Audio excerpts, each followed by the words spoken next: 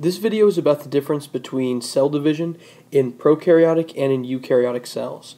Uh, if you remember from back on the chapter when we were studying cell types, prokaryotic cells are simpler things like bacteria that don't have a defined nucleus and don't have defined organelles aside from the ribosome, whereas eukaryotic cells are more complex things like the cells in plants, animals, fungus, you know, things like that. Uh, for the most part, we're going to be focused on cell division in eukaryotic cells, but in order to appreciate the complexities of this, we have to look at the way it works in prokaryotic cells as well. So we'll start with that. Um, this process that happens in prokaryotic cells is called binary fission. And uh, this is different from the process of mitosis that we'll be looking at in eukaryotic cells in that it's a lot more simplistic. So if we just go through the different steps here, the first thing that happens is the cell elongates, it gets a little bit bigger, and the DNA is replicated, which means that it's copied. So we've got a new set of DNA. The next thing to happen is that the cell wall and the plasma membrane begin to divide. So you can see here that the one copy of DNA is now on the right, the other copy of DNA is on the left. Uh, in step three, the cell wall begins to form and it completely closes around that section of DNA. So it's now stuck in one half of the cell. And in the last step, these two sections pinch off, the cells separate, and now at the end we have two new cells with the exact same DNA in each one. Um, on the right hand side over here is a transmission electron image of this process happening. You can see the DNA is still kind of like a clustered mess, and that was one of the things that sort of defined prokaryotic cells. They don't have these organelles on the inside of them to give them structure, so it's kind of disorganized and messy looking. The cross wall is beginning to form, which is the term for uh, like the section that kind of cuts off the uh, the two sections of DNA, one on each side of the new cell.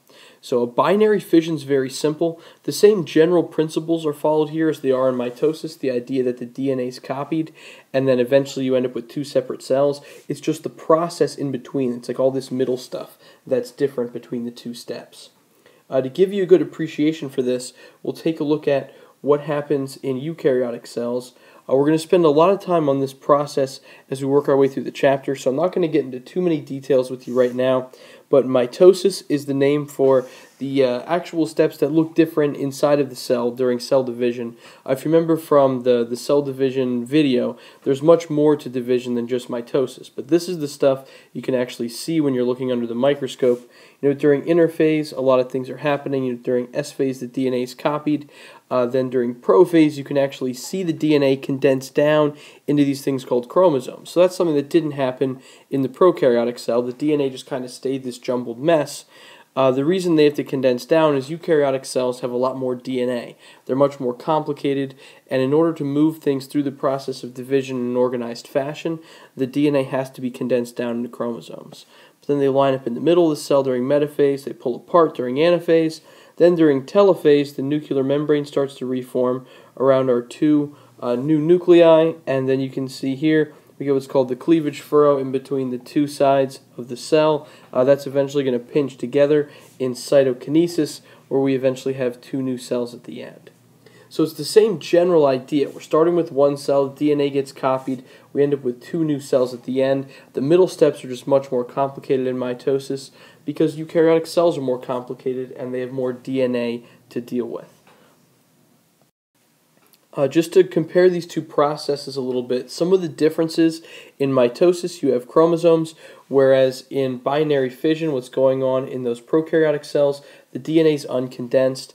Uh, the other thing for mitosis are the spindles. Those were the little string-like structures that were moving the chromosomes around. They're generated by the centriole, and that's what kind of pushes the chromosomes around during the process of, of uh, cell division. In binary fission, the DNA just moves to the poles. It moves to like either sides of the cell, and it's not nearly as organized or as structured in the way that process is happening.